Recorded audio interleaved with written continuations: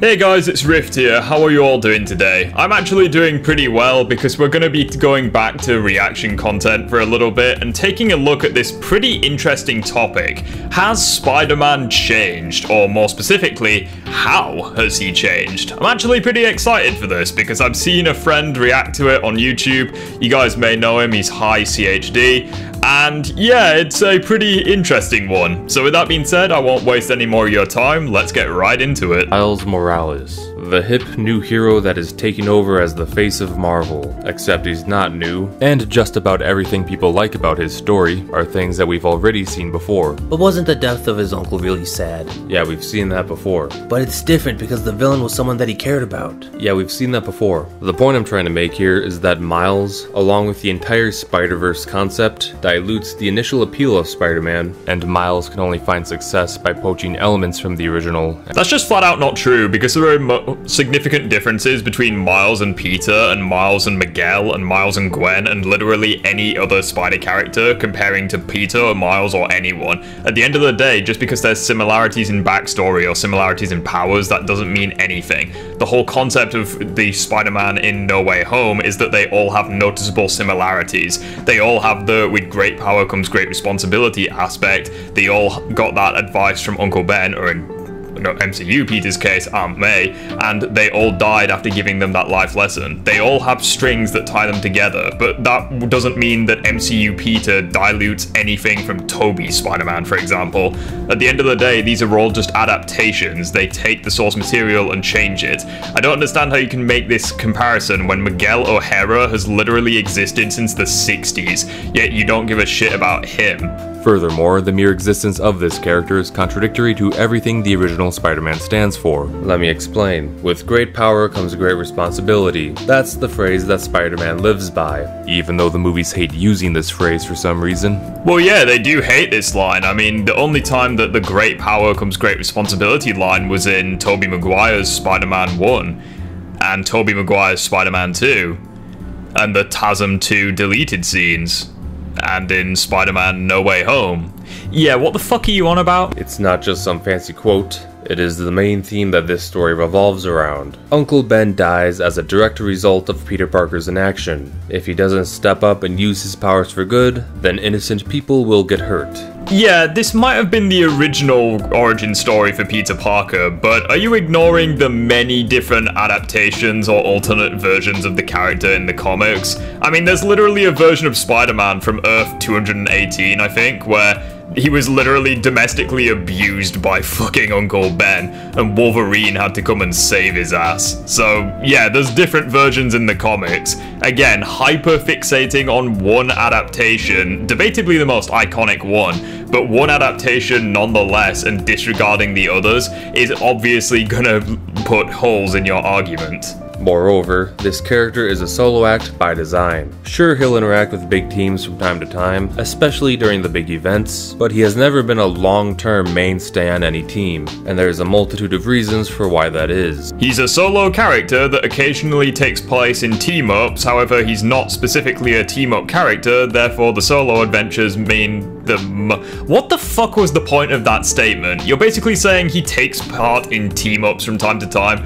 but he's predominantly a solo character, so what the fuck is the point? His strict preservation of his identity makes it difficult for him to get close with his superpowered friends. His home life is a mess, and he would struggle to commit the time to a team, and overall, there are plenty of heroes to take on Avengers level threats. But there are not enough heroes watching over the common man, so Spider-Man prefers to direct his time towards keeping the streets safe. What is it with YouTubers trying to insert their own headcanon for Spider-Man? Number one, this is just focusing on one adaptation of the character, but Peter in the comics has shown he is more than willing to help these big teams take on these big threats, such as Thanos, or, you know, helping the Fantastic Four. So, what is the issue? You're essentially projecting your own views onto a character. But most notably, the entire point of this story is about a man who is learning the importance of responsibility responsibility in a world where everything is going wrong, and he is the only one with the power to make a difference. No, Peter has the choice to make a difference, which is the entire with great power becomes great responsibility.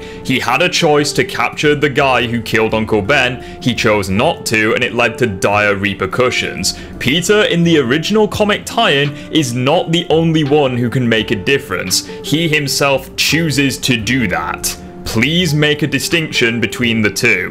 But in order to make that difference, he must constantly sacrifice his personal life. So his mission throughout his various stories is juggling his time and effort between maintaining these two lives that he lives. So with all this in mind, you may be able to imagine how problematic a second Spider-Man would be to this style of story. Actually, I really don't know, because making sacrifices and maintaining a personal life in addition to your superhero life is literally in the job description for being a superhero.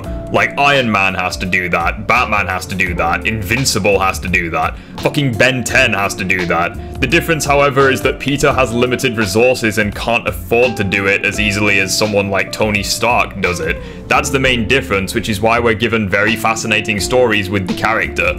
Someone like Miles Morales, those lessons can apply to without taking away from Peter. Oh, he has to make sacrifices to his personal life to do the greater good. Like, how is that taking away from Peter Parker? The modern Peter Parker will take vacations and pass on the mantle, because there is a newer, more powerful, more relatable, better in every way Spider-Man that can just take over the job full time so Peter is no longer needed. I guess this guy never read Spider-Man No More, where there was literally no other Spider-Man helping out, yet Peter decided to give up being Spider-Man anyway to pursue his selfish desires.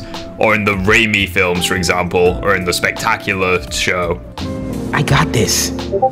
All of it. Go be Peter Parker for a while.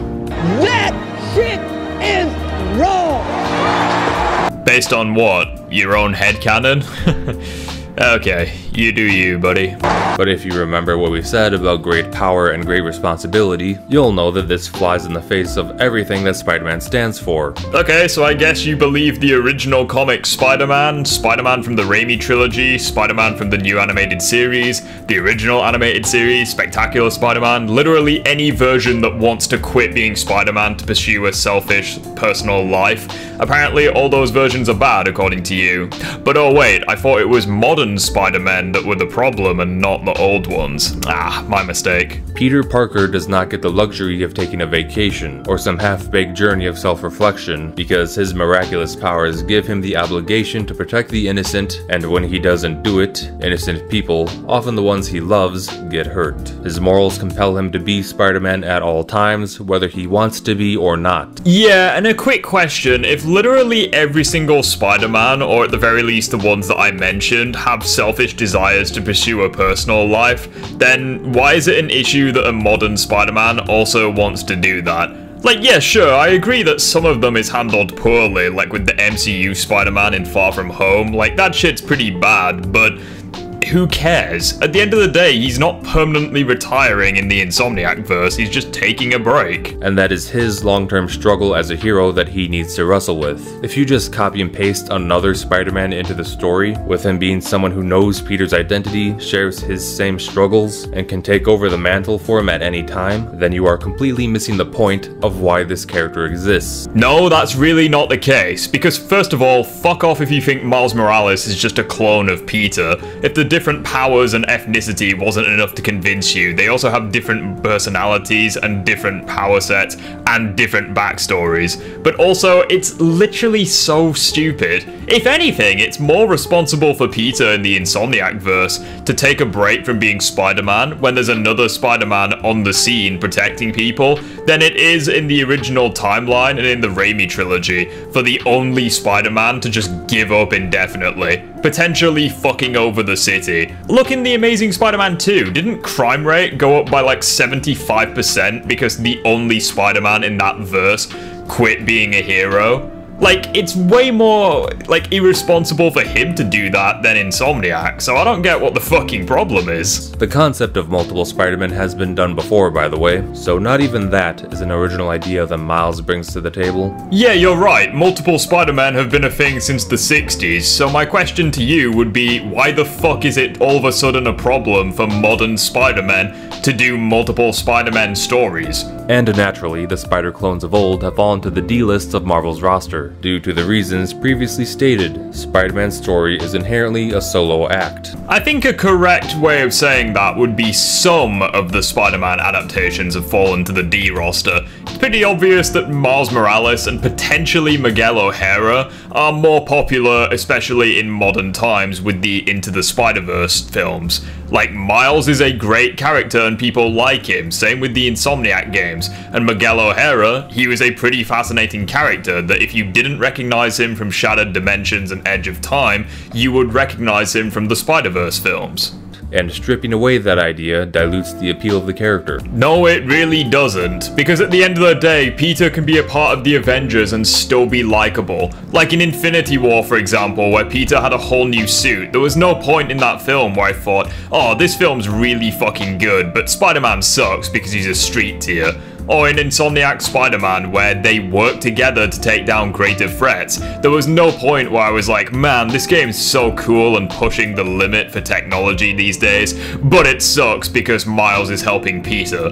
Like, no, it's really not that deep, and only fuckers like you are having an issue with it. The closest we've gotten to a successful, well-liked clone was Venom, but Venom is different enough in look and ability to stand out on his own. So many fucking questions. Number one, how is Venom a clone of Spider-Man? And by that logic, why is Miles not able to stand out on his own? His ethnicity's different, his costume's different, even his fucking powers are different, and he has a different backstory. Like this just stri- this just screams inconsistent. And he serves a different role in the story, being an anti-villain of sorts. So he never really has the problem of stepping on Spider-Man's toes and replacing him. If you think that Miles is somehow replacing Peter, that's fine, but I hope you keep that same energy for the many, many adaptations of Spider-Man, both Peter Parker and otherwise, that have existed since the 60s. Like, why is this all of a sudden a problem to you? Now, some of you may say, Actually, you're wrong because Miles is a beloved and popular character too. His movies were a big success and people adore his video games. well, you actually would be right about that to some degree. The numbers don't lie. The Miles-centric movies and video games were all successful. Even I myself enjoyed the first Spider-Verse movie, in spite of having very low expectations going into it. So, what's the problem? Well, the issue lies in the notion that with the inclusion of Miles, the purpose of Spider-Man's story will be forever changed to accommodate his existence. No, it really won't. The only times that will really happen is for stories where Miles is with Peter. But even then it doesn't happen, since in Marvel Spider-Man 2, there are only a couple of examples in the game where they actually work together. Other than that, they've got their own separate side plots to work on. It didn't happen in Spider-Man No Way Home either, like Miles was never mentioned there, and the existence of Miles and, you know, him being a good character all of a sudden had fuck all to do with that film. Like you're just clutching at straws trying to defend your notions. The story will no longer revolve around the phrase, with great power comes great responsibility. Peter no longer needs to be responsible, because there is plenty of power to go around. In fact, the meaning behind these stories will be much harder to find. The story beats, villains, and themes will either be diluted copies of what we've already seen in Peter's story, with the illusion of high quality coming from the fact that this has already been done before, Bro, like, where the fuck do I begin? Like, he's under the assumption Miles is just a Peter clone, and anything that happens for Miles is irrelevant because it's already happened for Peter. It's like, what what the fuck do you expect? For Insomniac Miles, at the very least, he's in the same universe as Peter. So the villains are gonna be similar, but the interactions he has with the villains are different. Like take Mr. Negative for example. Miles's arc with Negative is, you know, that of revenge and letting go of that revenge to be better than that. which is something that Peter didn't experience because Peter was dealing with Mr. Negative during the Devil's Breath outbreak, when it was never a matter of revenge. So that's an example. Just because Miles interacts with similar villains and shit doesn't mean he's automatically a Peter clone, especially in fucking stories that don't include Miles. Or there will be little to no meaning behind these stories, with the main appeal simply being the surface level coolness of the looks and powers that the Spider-Man possess. And sure, Spider-Man's design and skill set add a lot to his popularity, but it's the depth of Peter Parker's story that makes this character the greatest of all time though because of Miles' success, he will likely never go away at this point. If there's ever going to be an attempt to return to the classic Spider-Man story, we likely won't see it for a very long time. And know this, as popular as Miles might be in the moment, his success is a fleeting fad because an imitation can only go so far before it leeches every idea from the original and becomes stale. Yeah, and what is Miles actually leeching from Peter? You've only brought up the Insomniac games and the Spider-Verse films. You've not talked about the comics, and in the films, Miles takes on people that's different from Peter. He fights Kingpin when the multiverse is going to shit, which I'm pretty sure Peter didn't do. He also took on, you know, Miguel O'Hara and, you know, escape the Spider Society, which is something Peter didn't do. And in the Insomniac games, not only did he have a different backstory, but his interactions with the villains are also different. And you haven't even brought up the comics yet.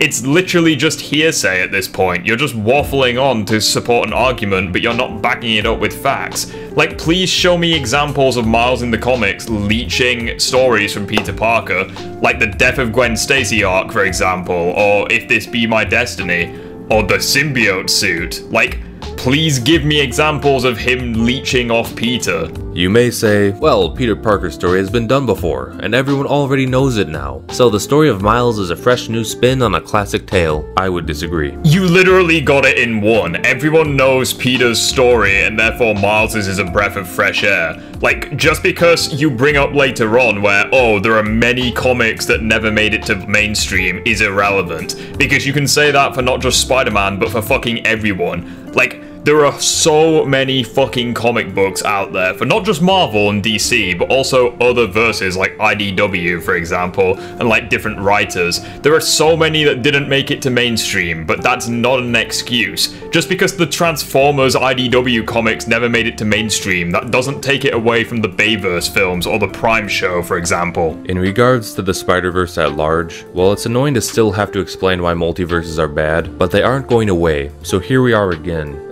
multiverse stories into a franchise where they previously didn't exist just dilutes the appeal of the original story. No, it really doesn't. Multiverses by themselves aren't bad. The way that they're implemented are bad, however. Like in the comics, for example, it's perfectly fine if given good enough reasoning. In the uh, Insomniac Spider-Man 2 game, same thing. In the animated series where there's like six different fucking Spider-Men working together against Spider Carnage, it's not a bad thing in that show because it's a one-off and it's explained really well. They're all brought together by forces way beyond their control to stop a greater threat and makes everything that used to be important feel rather small, inconsequential, and meaningless. And that is especially true in the case of the Spider-Verse. Where Spider-Man was once a brave hero who defied all odds in order to do the right thing, he is now one of many drones who only exist to serve his predetermined fate. Uncle Ben was doomed to die because that's Uncle Ben's cosmic role that reality decided for him. It wasn't because Peter was irresponsible, there is nothing Peter could have done to stop this. It is simply a canon event, bro. Nothing matters. The Spider-Men have no agency. If one dies, another will spawn to take his place. There is nothing special about Spider-Man. Everyone is Spider-Man. If you like this, then fine, more power to you. But personally, I don't appreciate a Spider-Man that thinks and acts a certain way, simply because that's just what Spider-Men do. I prefer a Spider-Man who has free will, and is constantly tempted to abuse his power, to give up, or to do the wrong thing. I prefer a Spider-Man who has free will, and is constantly tempted to abuse his power, to give up, or to do the wrong thing. My god, he just contradicted his entire point. So according to you, Insomniac Spider-Man is perfectly okay to let Miles, you know, take the reins for a little bit because he has the choice to give up or do the wrong thing, right? Like, you just said you prefer that, so you've contradicted your entire point here.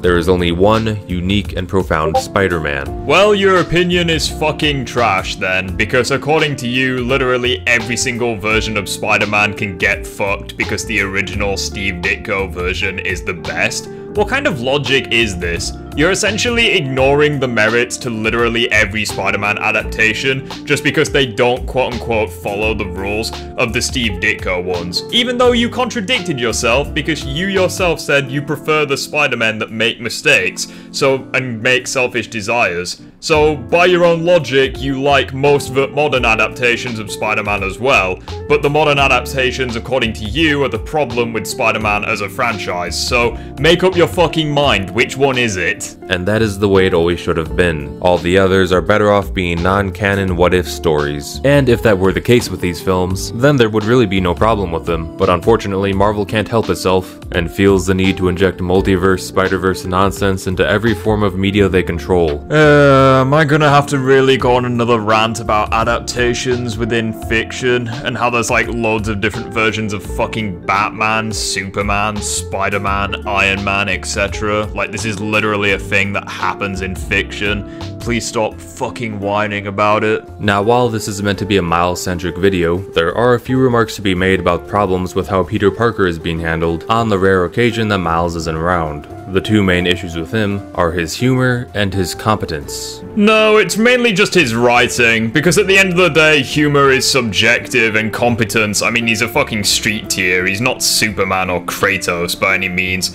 It's within character for him to get his ass kicked. Like, I swear down, if this guy's about to go on a rant about how Peter was nerfed, I'm actually gonna be done. Also, guys, I just fast forwarded a little bit of his video where he basically complained about the humor in recent Spider-Man adaptations, such as the Ultimate Spider-Man show or Into the Spider-Verse where he makes wisecracks. Because at the end of the day, humor is subjective. If you like it, you like it. If you don't, you don't let's not lose any sleep over it. Incompetence is the other main issue that plagues this character in the modern era. More often than not, Peter Parker is portrayed as a buffoon who struggles to overcome most obstacles set before him and very often needs help from others in order to succeed. This help comes in many different forms, from the Avengers to other spider people, to friends, to love interests, to even Aunt May of all people. This is one thing I do agree with. The MCU, Spider-Man gets helped way too fucking much, and he doesn't even try to solve his own problems himself up until, you know, the end of No Way Home, where he finally, you know, takes some fucking responsibility.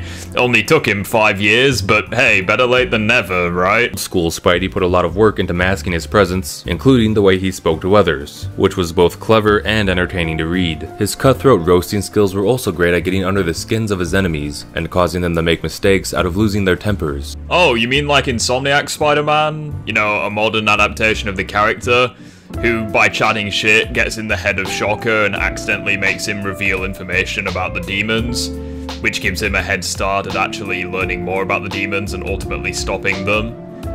Yeah, you know how he does that in a modern adaptation? And with his spider sense, that seems to be an increasingly forgotten power these days. Spider Man has the ability to sense danger prematurely and dodge it before it affects him. It's a very unique defense system that should be very exciting to watch play out in a fight, if it weren't for the fact that this power gets ignored so much that people will often debate if he even has the power at all in certain movies. Once again, I agree with this. The MCU did a pretty poor job at remembering the spider sense, to the point where he has a little arc in Far From Home where he tries to remember the ability and get it to work. There's even a couple of jokes from Aunt May where she's like, Oh, I thought you had the spider sense. Hmm. And then in the final battle where Peter needs to literally force himself to get the ability again. Thankfully, this is fixed in No Way Home, where he seems to permanently have the spider sense from then on. But yeah, I agree. The no, the MCU really did treat the spider sense rough. Spider-Man should be nearly untouchable with this power, and this is how he sustains his health while frequently fighting crime. No, just no.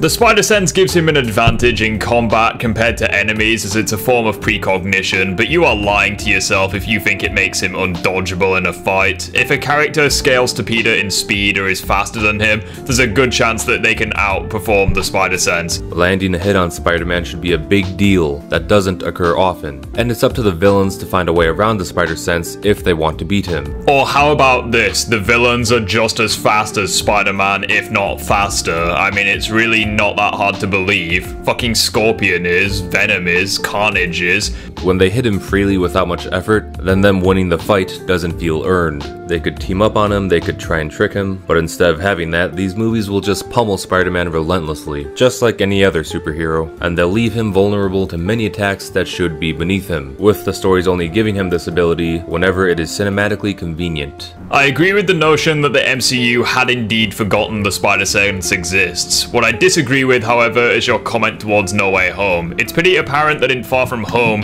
he got the ability back in the final battle, and then he kept it from that point forward. So no, I would disagree with that. And yeah, it's Spider Sense, not Peter Tingle. Get it right. Come on, Peter Tingle.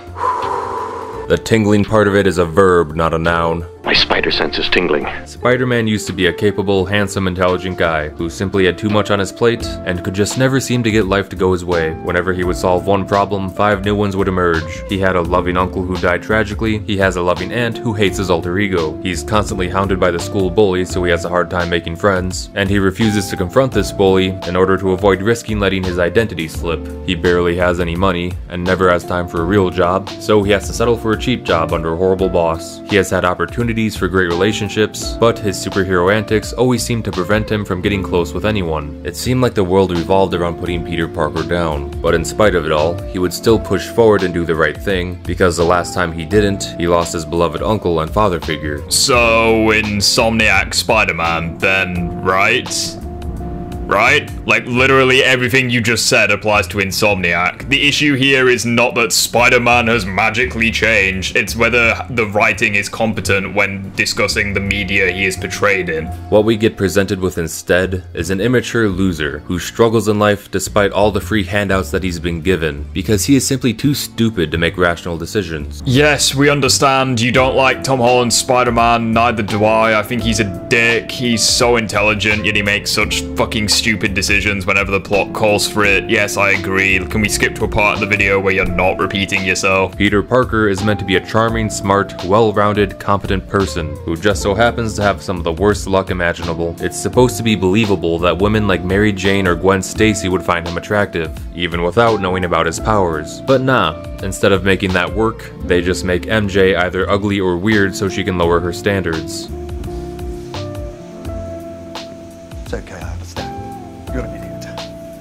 The other reason why this incompetence occurs is because filmmakers and storytellers are so insecure and afraid of turning the love interests into damsels in distress that they are willing to forego logic, consistency, and the story's theme in order to generate shallow girl boss moments that don't actually make these women look cool, they just make everyone else look dumb. Well, the Tobey Maguire Spider Man films made them look like damsels in distress. Not just MJ, but also Gwen Stacy as well, so I don't know what the fuck you're on about there. And Insomniac Spider Man MJ, really? This poor bitch can never catch a break. There's always just morons on the internet trashing on her. The reason why she's so competent in the second game is because it's literally stated that Silver Sable, one of the best fighters in the verse, gave her extensive training in hand to hand combat. Like, fucking hell, pay attention to the games, you would know this shit. Fuck me. We knew we had to make her more of a proactive, capable person. And if she's low OP, I don't give a shit.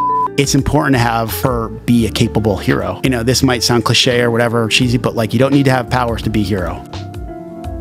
You just don't get it, do you?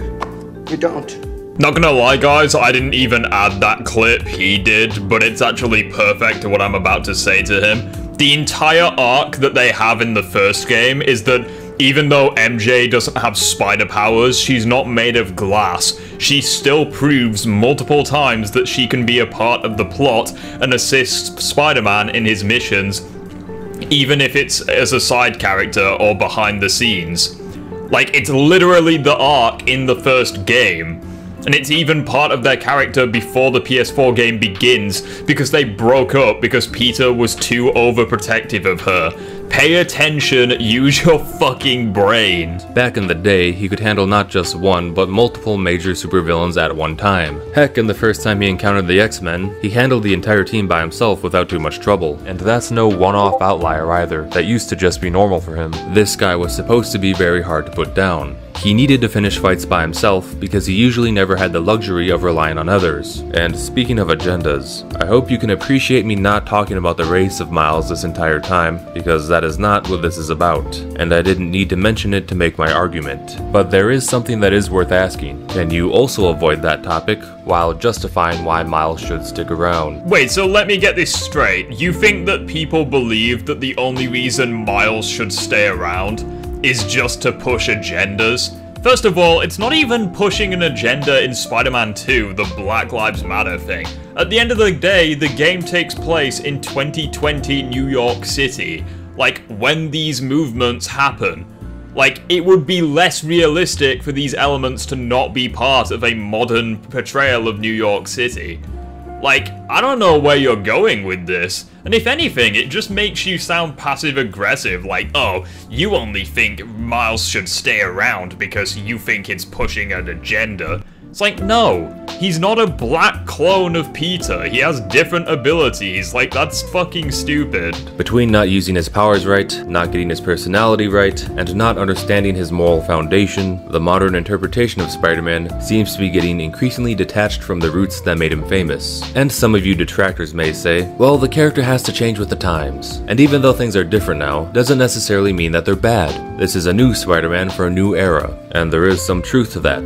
Not all new Spider-Man stories are bad, they're merely different. But be that as it may, I personally prefer the Spider-Man of old. I like what he did, I like how he acted, I like what he represented. If we are coming to an age where the classic Spider-Man is outdated, and this new guy and his replacement are here to stay, then fine. I guess Spider-Man is no longer for people like me. I no longer have any interest in reading any more of his comics, watching any more of his movies, or playing any more of his games. My fucking god, the salt levels are real. What, just because Spider-Man quote-unquote isn't as strong anymore, you're gonna stop engaging with them? What, just because he has a black sidekick in the games, you're gonna, like, disregard playing them? Even though Miles is very likable and very much his own character? What, just because he engages with alternate Spider-Man in the films, you're gonna just instantly shut off your brain to him? Like, your the entire oh fucking hell like this entire time you were talking about oh the life lessons and the choices of spider-man. Yet all of a sudden just because he's weaker and he occasionally has help you're gonna just say alright this character isn't me. Fuck him. Even though you yourself admit that he has done team-ups in the past. He has done collabs. And like in spider-man 2 for example it's not like miles holds his hand throughout the entire game or vice versa. Like no. They team up like maybe three or four times and then apart from that, they have their own arcs and characters stories, which, I mean, you would know if you played and engaged with the games, I guess. But anyways, guys, that's all from me for today. If you enjoyed this video, then feel free to like it if you did. If you didn't like it, then don't. Subscribe, it really helps the channel. Please don't send any hate over to this guy, it's really unnecessary. Hang around on the channel for live streams and all the rest of it, that'd be great. And I will see you on the next one.